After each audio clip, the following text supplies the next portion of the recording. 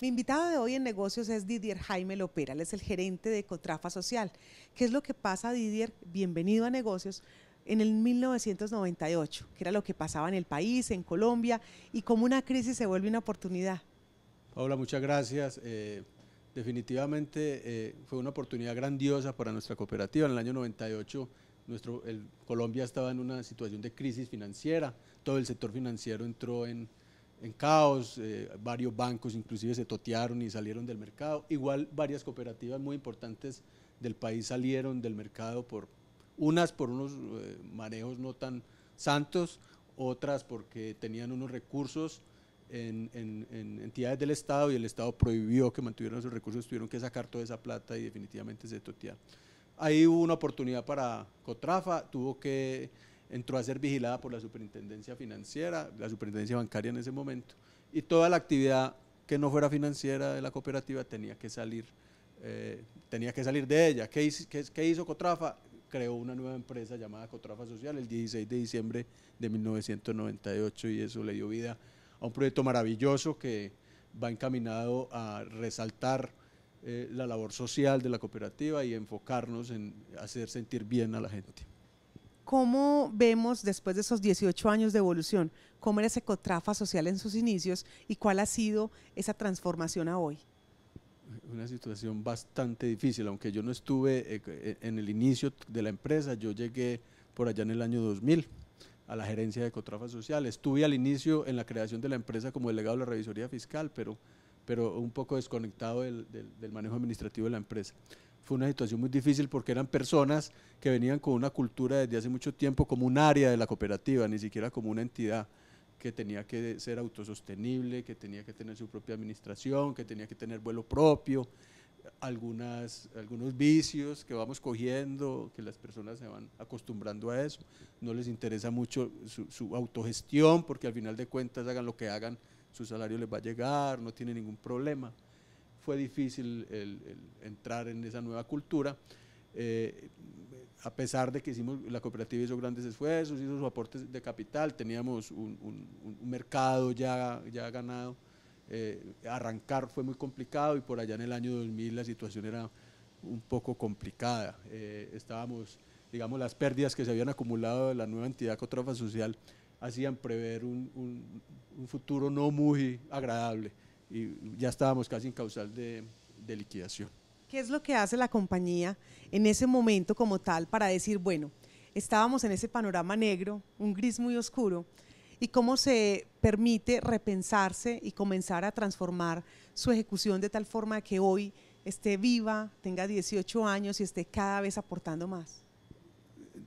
Lo que había que hacer en, en primera instancia era hacerle sentir a las personas que trabajaban en la entidad que ellos tenían que eh, autogestionar la empresa, o sea, tenía que ser partícipes de esa gestión para poder obtener esos beneficios que queríamos, hacerles caer en cuenta que era responsabilidad de ellos sacar adelante la empresa, porque si no lo hacían ellos, nadie lo haría. Eh, y definitivamente empezamos un proceso muy difícil porque eh, tiene que ser, digamos, hablando con ellos, pero también tomando medidas restrictivas, mecanismos de control. Eh, y así fuimos empezando eh, en, el año 2000, a mi llegada, en el año 2001, perdón, en el año 2001 a mi llegada por allá en el marzo, eh, ya el primer año empezamos a revertir esa, esas pérdidas y el primer año, recuerdo muy claramente que dimos 122 millones de pesos de excedentes. Muy bien, Didier. Eh, ¿Cómo una compañía como estas tiene que estar permanentemente, eh, digamos, escuchando a sus clientes, las necesidades, a las personas, a las que, a sus socios, a esas personas que están ahí invirtiendo en que realmente eh, salga adelante? Porque si vemos que es una cooperativa, pues tenemos unas personas que están aportando un dinero y que quieren que realmente eso se revierta en calidad de vida y en bienestar.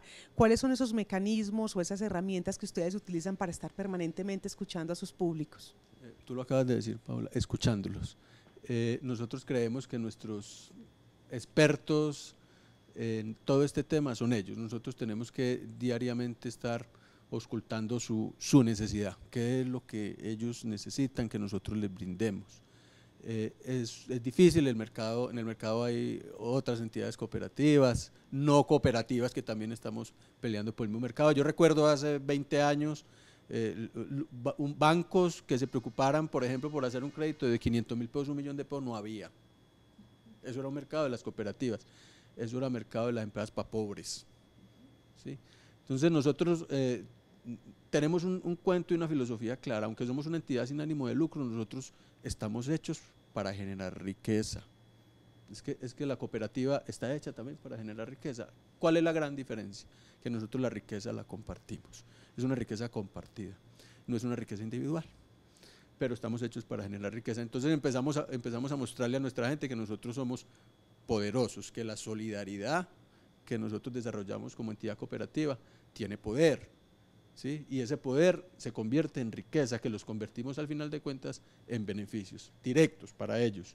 Entonces, diferentes actividades que desarrollamos durante todo el año, que hacen parte de nuestro balance social, hacen eh, eh, no, es a no esa fidelidad, sino que la gente sienta que efectivamente es, su entidad, es que no es únicamente que soy un cliente, es, esa entidad es mía y por eso yo estoy ahí. ¿Por qué ese modelo del cooperativismo eh, toma cada vez mayor relevancia, digámoslo? Hay personas que en definitiva consideran que es la mejor manera de avanzar. ¿Cómo es ese, ese modelo y cómo se entiende incluso hasta internacionalmente estas experiencias que se viven en Colombia?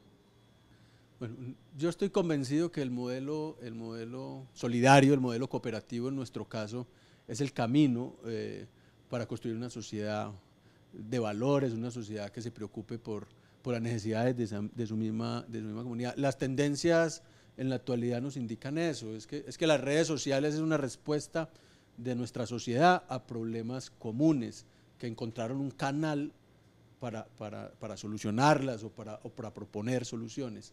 Al final de cuentas eso es el cooperativismo, la unión de mucha gente para, para encontrar soluciones a una necesidad. Nosotros hemos, hemos visto, aquí en el país hemos visto el cooperativismo, las entidades de la economía solidaria, como te dije ahora, como entidades que administran pobreza.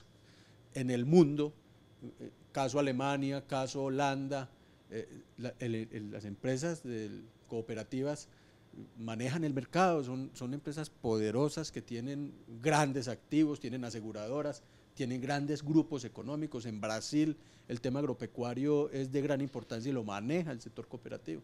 Llegó a tener ministro de Agricultura del sector cooperativo Brasil y sigue siendo muy fuerte en nuestro país eh, eh, el, sistema de la economía solidaria nació por ahí con el mutualismo, cuando los curas desde, los, desde los púlpitos le, decían a la gente que tenían que ayudar a enterrar a un muerto, entonces todos tenían que poner, crearon las sociedades mutuales, de ahí fuimos, fueron surgiendo otras, otras expresiones del sector solidario. Eh, pero siempre nacieron como eso, usted escucha una mutual, entonces de entrada ya piensa, pobres. Uno va a alguna administración municipal, departamental, al gobierno, a, solicitar una cita y, lo primero que piensan es que irán a pedir. Yo creo que eso hay que cambiarlo. Como decía, estas entidades están hechas para generar riqueza. Y, ejemplos, como por ejemplo, como, como, las cinco cooperativas financieras que hay en el país, que todas cinco están en Antioquia, Cotrafa, John F. Kennedy, Confiar, CFA, Cofinep, son las únicas cinco cooperativas financieras, todas están en Antioquia con presencia en el país también. Eh, han tenido unos resultados maravillosos y han eh, eh, tenido unas, unas soluciones, no únicamente en cartera de consumo, sino en, soluciones de vivienda. Nosotros venimos desarrollando proyectos de vivienda importantes.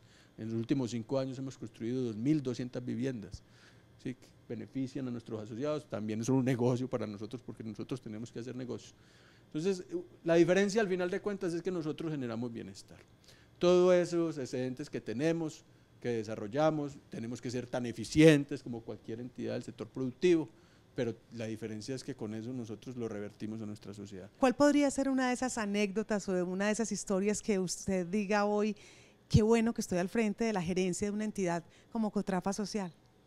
Mira, una historia que vale la pena nosotros eh, de nuestros excedentes. Eh, definimos, mire, eh, la gente tiene dificultades para obtener vivienda, pero no, ni siquiera por, por, el crédito, sino porque es que no tienen capacidad de endeudamiento. Hay gente quien le preste plata, pero la gente no tiene capacidad de endeudamiento. Y fuera de que tienen subsidios del gobierno eh, a través de las cajas de compensación, no les alcanza. Nosotros dijimos, bueno, ¿qué hacemos para solucionar eso? Dijimos, bueno, de los excedentes vamos a sacar unas partidas y vamos a dar un auxilio directo para el que vaya a comprar vivienda. hicimos una rifa, cinco auxilios de 10 millones de pesos.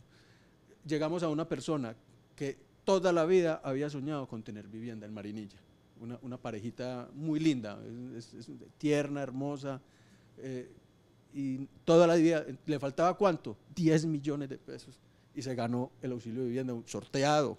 Yo cogí la balotica y se le ganó lo llamamos, no creía, pero casi le da un infarto, no a la pareja, sino a la, a la suegra del sello, para la mamá de la muchacha, que estaba ahí enferma, estaba enferma también, tiene, dificultades, eh, y, ya por fin tienen su vivienda. O sea, contribuir a que la gente solucione un problema tan normal que es tener una vivienda que, como dicen los viejos, no es riqueza, pero no tenerla sí es pobreza. Eso nos alienta a seguir trabajando diariamente, eficientemente para obtener estos resultados. Pues Didier, de verdad que muchísimas gracias por acompañarnos aquí en Negocios, contarnos sobre Cotrafa Social, esos 18 años que ha estado al frente, entendiendo lo que es ese cooperativismo y sobre todo ese bienestar que genera el estar juntos. Muchas gracias. Muchas gracias a ti por la oportunidad.